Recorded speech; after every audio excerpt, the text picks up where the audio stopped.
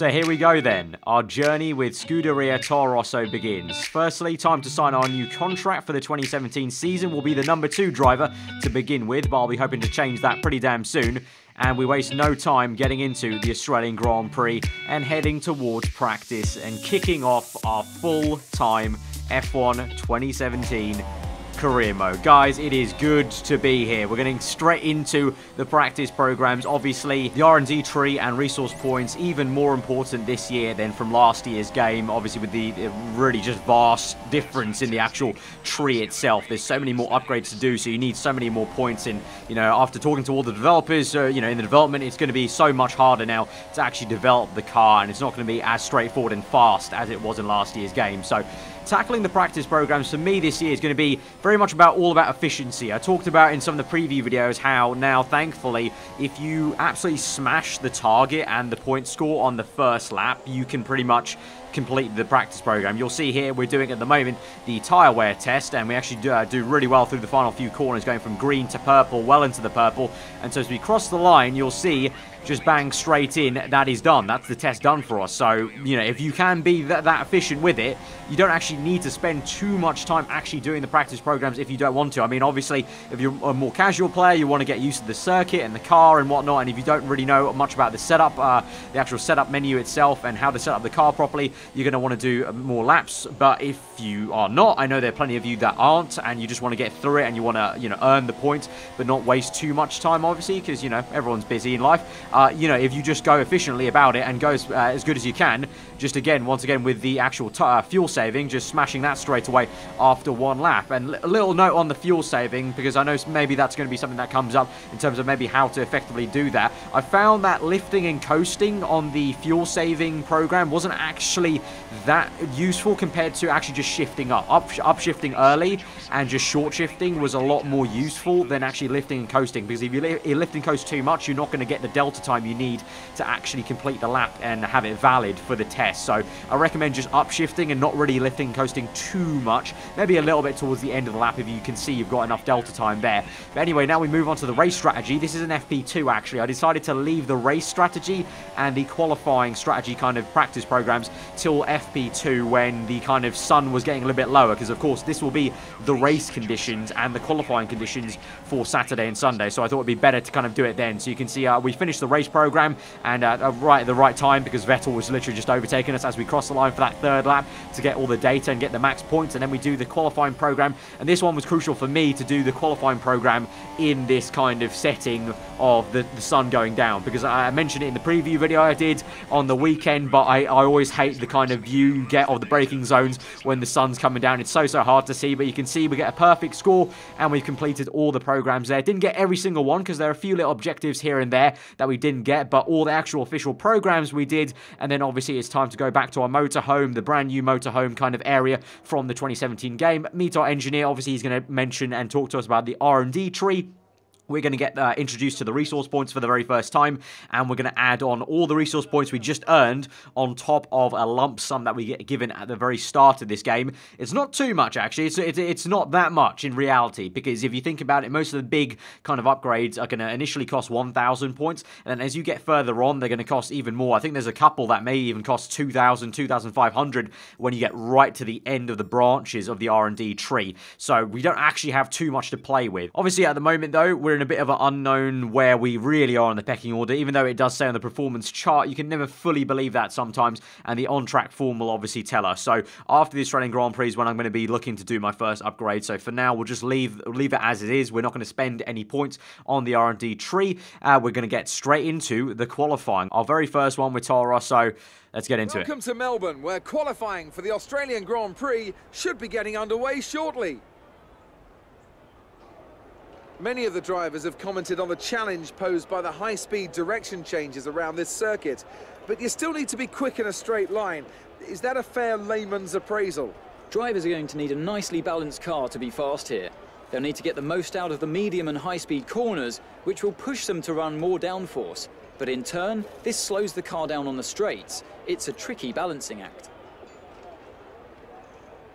Right, so before heading into our first flying lap here on the Ultra Softs, we're going to just uh, change the setup a little bit and tweak a few things from practice. Didn't do too much uh, setup changes in practice, not gonna lie, but you know because I found I found it pretty comfortable straight away from the get-go. This year, you'll find the default setup is a pretty damn good bog standard setup. Obviously, you can find time and you can find comfort, and that definitely will be the case and was the case here for me as well. Um, but that's also personal preference. But I know a lot of you guys have already asked in the preview uh, videos about doing setup videos like I did for the last last year's game. Just like last year, it's the same way I'm going to do it. Basically, once I've done an entire career mode season in this Toro Rosso, I will then do one big video where I show you every single setup I've used in the career mode. Because at the moment, obviously, I'm still sussing things out. Uh, and obviously, I haven't driven every single circuit. I'll do that as I go through the career mode. Um, so that's just the best way, in my opinion, to do it. So once we've done one entire season, I'll bring that video out eventually. Obviously, here, just looking at the engine management and gearbox, obviously, there's nothing to change yet on the engine parts or the gearbox box. If you don't know, if you're new to the F1 game at, at completely at this point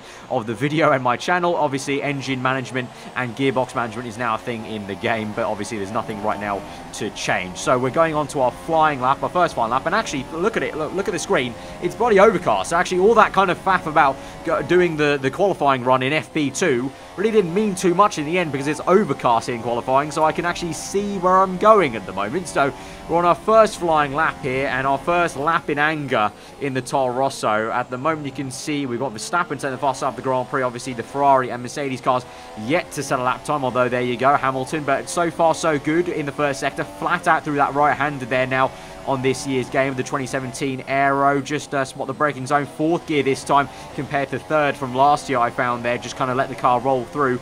But so far, pretty decent okay. I think maybe I could have been a bit more aggressive into some of the first few turns, but then this one a little bit tricky. Uh, went down to third, slid the car a little bit, and then get as close as you can to the wall on the right-hand side on the exit. Then you move to the left, and then slowly move to the right for the braking zone. Down one gear to seven, just lift off a tad to get the car turned in. Obviously, if you're in the Ferrari, or Mercedes, or Red Bull car, that may even be near enough flat there in seventh gear, but in the Toro, I have to lift off a little bit. Then you're going to drop down to fourth, maybe even third if you're feeling a little bit daring, want to rev out the, the engine a little bit. And then here, midway through the corner, I go down to fifth gear just to get more revs on the exit. And then nice and easy. I went down probably one, two, uh, one gear too many there to second. You could probably keep it in third. Let the car just ease the power in in fifth gear. And we're going to go across the line. We're going to see what our first final lap is going to be. It's P7 at the moment. Obviously, uh, there's going to be plenty of people yet to set lap times. You can see actually immediately Ocon's already set a faster lap than me. And we're down to P8. And uh, Vettel just goes ahead there. I'm pretty sure I didn't hold him up there, but we now go and change for a second set of Ultra Soft tyres. We've got three available. The race, we've also got one set of fresh Ultra Softs and uh, Super Softs uh, saved for the race, so we can't use them in qualifying, but we have three sets here of the purple ultras and one set of the super softs if you did want to feel a bit daring there maybe in a higher car possibly and also if you were doing all three qualifying sessions obviously at the moment you can tell we're doing the short qualifying only to keep it nice short and snappy because I want to get ahead into the actual racing action rather than just faffing around with so much qualifying in the videos here in the career mode. You can see I got really held up into turn one with the Williams car initially into turn two and then we're actually closing off on Danny Ricciardo.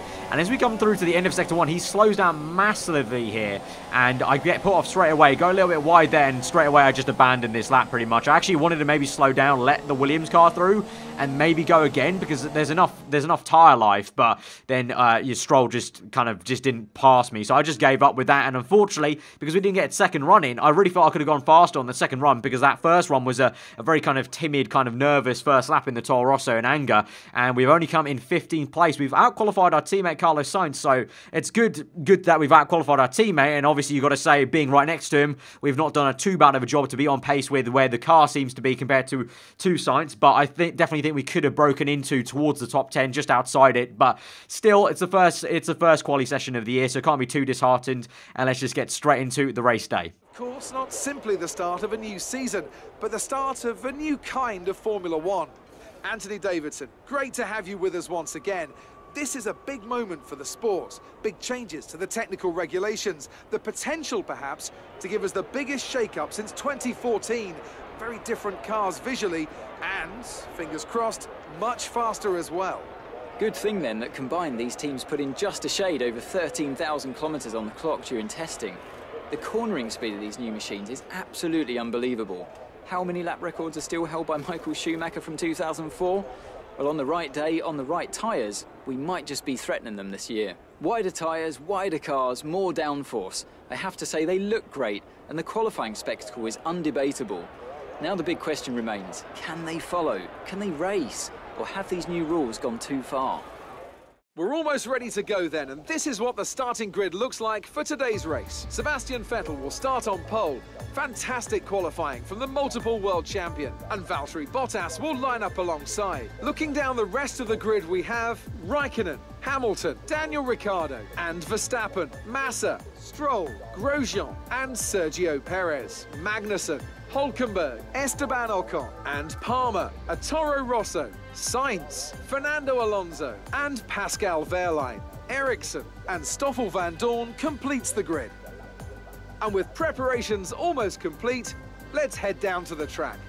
Right, so here we are for our first race in the Toro Rosso car, the Australian Grand Prix. We're looking at the race strategy. It's going to look like a pretty standard one-stop from where we are on the grid. Obviously, we can choose whatever compound we want to start on, and at the moment, my engineers are saying default super soft tyres and then a set of soft tyres, so completely even just ignoring the ultra softs, which uh, most of the top 10 obviously qualified on, and we we tried to qualify on. It looks like we're probably just going to end up going for that one-stop. I don't think we're necessarily going to have the pace to make a two-stop work. A two-stop will probably be for the likes of the two Ferrari cars, the two Mercedes, even the two Red Bulls.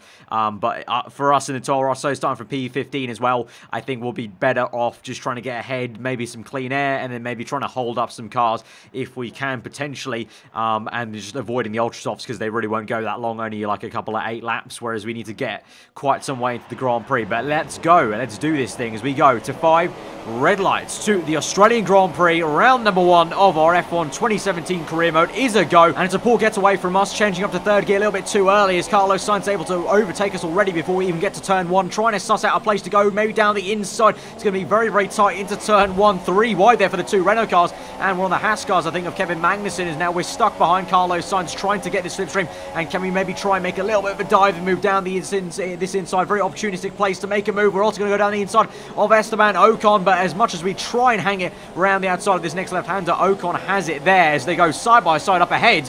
Uh, Hulkenberg and Kevin Magnussen, I think, as Palmer just watches uh, from behind. But can, maybe can we try and make a move now on Ocon as he's caught napping a little bit behind Palmer. We'll go side by side. He's still there on my inside there. The red proximity arrow shows that. And as we swoop through on this nice panning shot, you can see still have to make it work. And now eventually we do get ahead and we've overtaken Ocon. So now we can try and get on the back of Jolyon Palmer in the other Renault car. So up into P14. So one place higher than what we qualified in. So initially had to try and re-overtake our teammate, obviously. So now we can settle down to business and maybe try and get to work on one of the Renault cars here. Palmer held up a little bit by Magnussen, so we have to brake check ourselves a little bit and go a bit slower than I wanted to through that final, uh, second last corner. Now through the final corner, really getting a lot on Palmer. You can see him right up his gearbox. We have to go up into rich mix, and obviously with the 2017 cars, it really is a tough time now with the slipstream and the dirty air. Really have to go for it, really make a diving move down the inside of Palmer and really make sure we outbrake him there. Otherwise, it is going to be a difficult time, really, especially the AI this year definitely are a lot more aggressive. They will defend their position if uh, if you don't give them a hard enough time of it. And so you can see Palmer actually tries to come back at us. We do defend quite well and just make sure we take the natural racing line. And now he'll be susceptible to uh, what will be Sergio Perez and then our teammate Carlos Sainz, who finds himself behind, uh, stuck behind Perez pretty much. And now we're closing up on Kevin Magnussen as we go on to the end of lap two. Yellow flags though behind us. So I wonder if there's a car already out. It is going to be Marcus Ericsson out of this Grand Prix. So we've only got 19 runners in this Grand Prix. It's only been two laps gone. So uh, that was a very early retirement there. I'm not too sure there's any contact made or a mechanical failure. But as Lewis Hamilton set the fast of the Grand Prix, we're going to try and maybe uh, think about making a move on Magnussen. Didn't have enough closing speed into turn one there. You know, if that was 2016, I would have made the pop, but just didn't have enough overspeed to make it work. Now we do, though, and we're going to go down the inside. And now this time, can we do what we couldn't do to Ocon? And yes, we can, as we actually go and squeeze Magnussen out into the entry of that corner. Don't even have to hassle with him on the exit. And now we can get on the back of Nico Hulkenberg. We're up into P12 now, so making some really, really decent progress. And this Toro Rosso is feeling pretty damn nippy on the super softs. Obviously, all these guys are on soft tires. Hulkenberg what is ahead of us. Magnussen was behind us. So at the moment, obviously, you would think that I would be faster on this set of tyres. And so basically, that's why I need to kind of get a move on, really. If I get held up by these guys, basically that's my strategy ruined and wrecked because they're going to hold me up. They're going longer than I am into this Grand Prix. And you can see there, Hulkenberg did slam the door shut on me on the end of that back straight to that right-hander. So we have to wait until the final corner, opening DRS, rich mix as well. And we're going to get the slipstream. We're going to move to the right side of the circuit to get it down the inside of the German. I think we should have this into the break. So no, Nico does try and hang it around the outside. Doesn't work out. We do squeeze him into the mid part of the corner, into the apex and we're up into P11 now. So the next person up ahead is going to be Sergio Perez. So actually, my bad, that was Ocon the entire time I was trying to talk about who's behind me, obviously, uh, previously on the commentary. But now we move on to lap five. We are trying to chase down Perez. He finds himself stuck behind two cars there. Yellow flags, though. And oh, on the left-hand side, oh, oh my God, there's a Mercedes and a Ferrari out. There's only 18 runners left in this. I think that was, uh, must have been one of the front runners. I am not too sure if it was Bottas or Vettel or Raikkonen or Hamilton, but there definitely was a Mercedes, the turquoise silver car of a Mercedes, and definitely what looked like the Ferrari, one of the Ferrari cars stricken on the left-hand side there. So calamities for the race leaders. It's going to be Sebastian Vettel out of the Australian Grand Prix. So it's just Kimi Raikkonen left in this Grand Prix to fend for Ferrari. So really big disaster there for Seb in his opening race for this season. And now it's all been very chaotic because now you can see there, it's a, I think that's a Red Bull car. Yes, it is. As we tap the back of Perez as uh, Perez kind of gets brake checked by Ricciardo into turn one, so I have to take some avoiding action. Thankfully, not lost any of my front wing, and now we've got uh, one of the one of the Renault cars of Hulkenberg trying to overtake me, re-overtake me, as Perez sends it down the inside, and Perez very, very beautifully goes round the outside of Ricciardo, and Ricciardo got major issues. So I wonder if Ricciardo was maybe one of the people caught up in that accident with the Mercedes and Ferrari car. I don't know if he's got any front wing damage, but he's going definitely slower than he should be, the Red Bull car. So we go round the outside side by side. We overtake the Australian, obviously the home favourite here at this Grand Prix. And now he's down to P9. So I really don't know what on earth is going on there. We're going to have to take a look at a replay now and confirm to you what went on. So it doesn't look like there's a Red Bull inside. It's Bottas chasing after Vettel. Looks like at this stage of the Grand Prix, it's Lewis Hamilton way out in the, well, I would say the lead, but it looks like maybe Raikkonen's out in the lead, and then it's Hamilton second. Vettel and Bottas fight for third place. Vettel nearly squeezes Bottas into the wall, and then, oh, on the exit of the high-speed chicane, spun round, and then for Vettel, uh, we, we didn't see what actually went on there on that camera angle, so let's take a look, another look here. On board, oh, look how close Vettel squeezes Bottas in, and then here just going to be a very awkward, awkward, awkward shake-up, and then Vettel straight into the wall. Very, very unfortunate. Loses his front left. Bottas is actually still in this race for now, so he's a little bit lucky, but obviously he's lost a lot of uh, momentum and time there, and that was very unfortunate. And now, actually, speaking of the man, he's now out of this race, so he's retired, actually, after that. He, he did trundle around, I think, uh, limping home to the pits, but I think he ultimately retired into the pits. So, uh, wow, Bottas and Vettel out of this Grand Prix. Two big guns in the season out in the first round. That's big stuff. That's big, big stuff as we try and make a move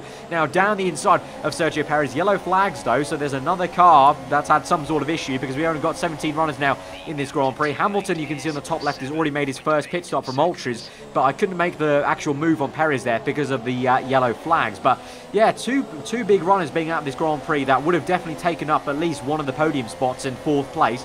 That's big stuff because that now means me and Perez and the likes of Hulkenberg and you know what you know the Haas cars we can all maybe gain from this with those two out this Grand Prix. So big big opportunity now in this race. We need to try and take it. So can we try and now get past Checo here in the Force India? We're going to try and send it down the inside. It's going to be a very tricky place. It's going to turn to the outside for the next corner. Very unorthodox place to make a move and it doesn't happen. But we switch back to the left hand side. But Perez, look at that. He's really parking his car very very well. Now we've got Hamilton uh, for company. Our fellow Brit hustling and harrying us right up our gearbox. Obviously, he's a in a much faster car and he wants to get uh, get through me. Obviously, it's, it is technically for track position, so I, he, I don't have to obey blue flags here. But at the moment, I'm just thinking I may as well let him go. So we do slow down a little bit. He's going to go round our outside, and I'm just going to let him go because if he can overtake Perez, then he can maybe hold up Perez as he overtakes him, and then I can use that to overtake him. So basically, a bit of a Wally or Fox move, and we'll see if it actually works because it could backfire a little bit if Hamilton overtakes him cleanly with DRS on this straight. But I'm counting on him maybe having to do a bit of fighting into turn one. So here we go as we do go on to uh, what will be now lap number nine Uh, only nine laps gone. There's been so much action, but Hamilton down the inside. He does slow Perez down. And so now, here we go. Through turn two, you can see we close right up to him. Carlos Sainz is now out of this Grand Prix. So I am the uh, only uh, Toro Rosso left in this race, flying the flag solo as we go round the outside. So, so close. Nearly off circuit there as Perez really forces uh, into that corner. And now he's still round outside. So we have to try and hang this round the outside of this full, flat out right-hander. So, so close. I'm pretty sure there was a tiny bit of contact there. Perez managed to keep it in a straight line, and we've made that move, and we've really hard earned that fourth place at the moment. Obviously, it's not actually going to be fourth place on the road at the end of this race because there's uh, some front runners who have already pit him. Obviously, we're going longer on super soft tyres, whereas all of them were on ultra softs, and now yellow flags, and it's Kevin Magnussen that is, I think that is uh, in the Haas car on the left-hand side, stricken. So there are only 15 uh, runners left in this Grand Prix, so you can really tell it's the first race of the season there. A lot of reliability issues, including for our own team. Uh, Toro Rosso, obviously, Carlos Sainz, you would have seen out earlier, so I'm the only one that uh, could potentially score some points this afternoon for our team. So let's hope I can continue what, doing the decent job I am doing at the moment, I think, in my opinion, on lap 12 here to be in P3, although Hulkenberg is now closing up on us. So will the Renault car be spoiling the party for us soon? Our tyres are starting to go off a little bit.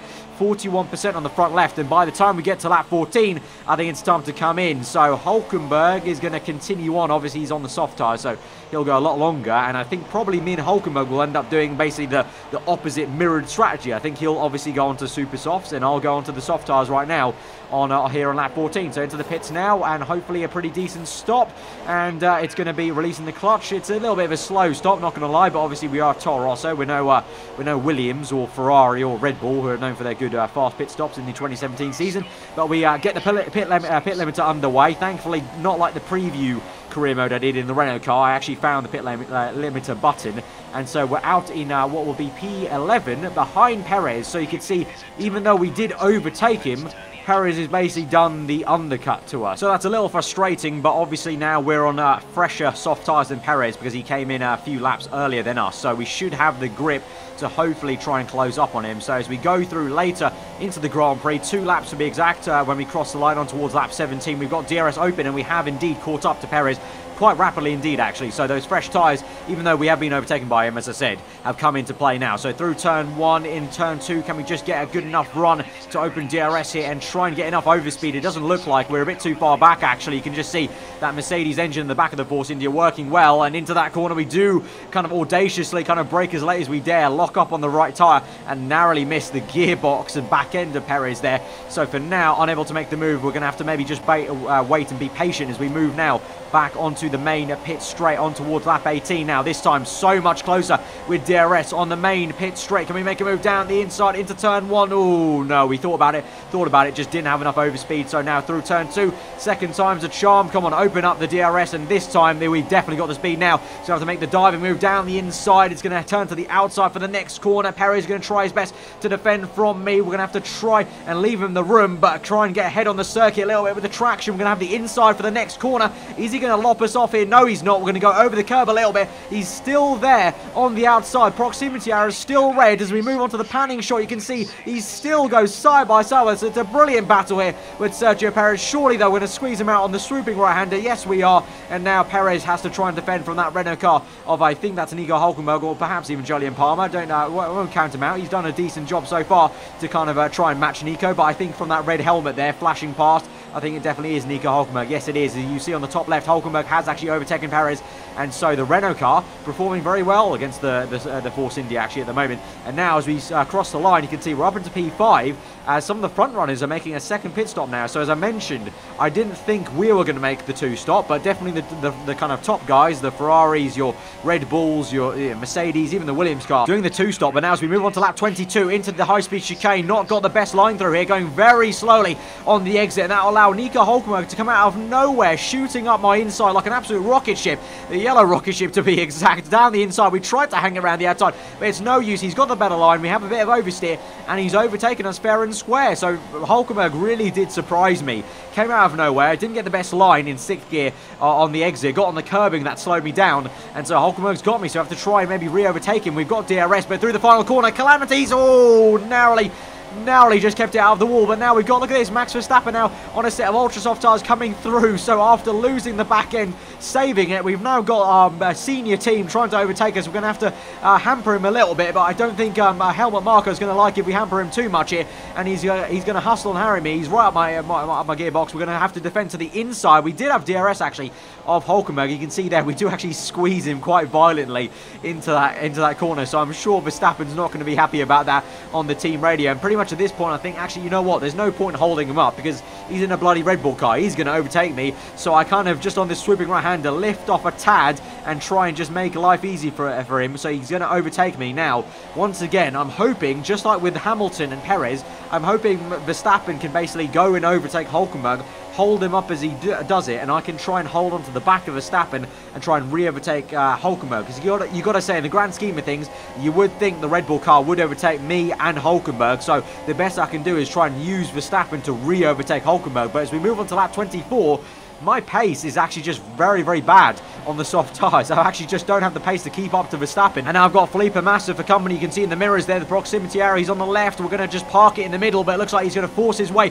to the outside of the circuit. So he's going to go around the outside. We're going to break early, switchback move, and that is absolutely textbook. That is absolutely lovely. That was so, so satisfying to do to Massa because it really did seem like he was going to have me completely going to that chicane. And so just thought to break a little bit early, nip down, get the better line, get the kind of acceleration going a little bit earlier. So we do, for now, keep sixth place. But I feel like it's only inevitable that he's going to overtake us because it looks like he has so much more speed. And for now, the beginning of the season, the Williams car is uh, a much faster car than the Toro Rosso, unfortunately. And so here he goes on the left-hand side. We're going to have to try and defend to the inside. He's there. Already you can see his front, uh, his uh, front right wing and his uh, front right tyre. And he's still there, side by side. Bang tyres a little bit there. He's pushed me off a little bit to the right-hand side. We go side by side through the flat-out uh, right-hander. Not kind of flat uh, when he goes side by side, though. We have to lift off a little bit to give him the room, obviously, because he's well and truly got his, uh, his front nose alongside me. So I can't just squeeze him out there and go full throttle. And so now as we move on to lap 26, he's going to have DRS, though, now. He's got so much more overspeed. We try and break a little bit early and maybe get a better line, but he actually parks it into the apex, to be fair to him. And Mass has done a great work because he's got a second part of the cherry of DRS. So that's pretty much that done. I mean, I tried to maybe look to the inside, but he's just having none of it. Chops me off of the apex, and he's got it. They, that's just that's just the AI this year. They, they're not having any of it. You can't kind of bully bully them off circuit. And so Massa's got me. You can see the, oh, the speed he's got now and the downforce and grip he's got because it's only a few corners and he's already well and truly ahead of me. So now we move on to lap 29 and by the time we get to that, Massa and Verstappen, I think, overtook Hulkenberg. So it's going to be P7 on the road. I mean, I can't be too disheartened, actually. That's a very good position for the Toro Rosso car, I feel, especially with our teammate out of this Grand Prix. Great effort there from Ferrari to take the victory today. Tell me, Ant, what was the key to this success? I feel like consistency was probably the key today. There's being quick, and then there's being quick lap after lap after lap. If you can do that, you can capitalise on other people's errors without making many of your own. And that's an approach that can push you a long way up the field. So, here they come now, out onto the podium. Wherever you go, anywhere in the world, the prancing horse flags are dominant in the grandstands, and they're out in force again today. It's Ferrari on the top step once more.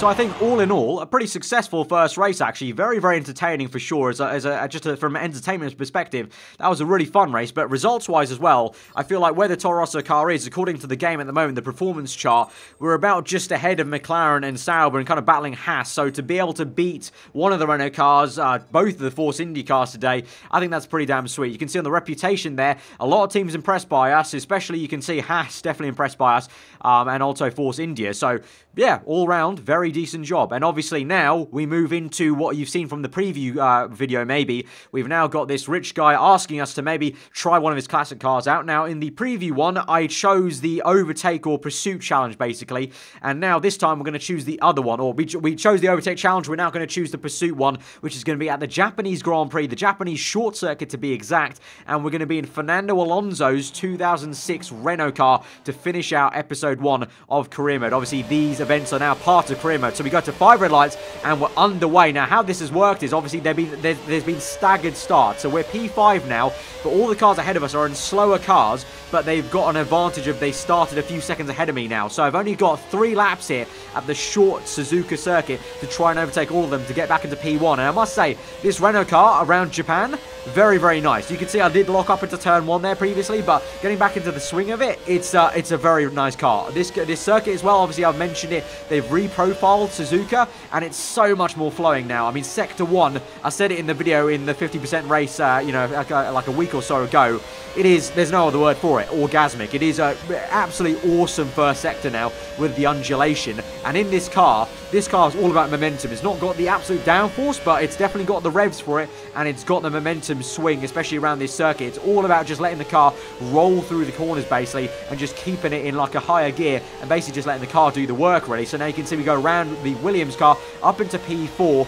Now remember, we've only got three laps here, so I'm going to cut this very, very fine, but I think we should be able to do it, because we're in such a, a much faster car than all these guys, because they're going to be in, I think, older generation cars, uh, effectively, really. So now we close through on towards the last lap, so we've only got one lap to basically make three overtakes here. We've got P3, P2, and then P1 a little bit further up ahead. So let's try and do this and try and kick things off very successfully for our classic invitational events. We go down the inside of third place. Can we try and now feed it through around the outside of P2 on the next left hand? It's going to be close. No, he brake checks us. Thankfully, our front wing doesn't come off there, but he's definitely uh, done, done us a little bit dirty there. So we go around the outside eventually, and now we've only got a couple of corners, literally only three to overtake P1. It's going to be so, so close. Here we go. Momentum swing round the outside into the last corner. That's how you want to do it. Last minute overtake to get P1, and that's going to be a very nice way to kick off our invitational events as part of the career mode uh, experience there. So awesome stuff. So great first entertaining Australian Grand Prix race and uh, successful invitational. So guys,